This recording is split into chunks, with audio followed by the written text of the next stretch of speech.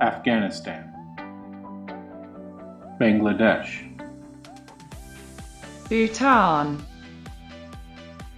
India, Kazakhstan, Kyrgyzstan,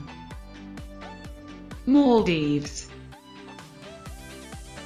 Nepal, Pakistan, Sri Lanka, Tajikistan, Turkmenistan,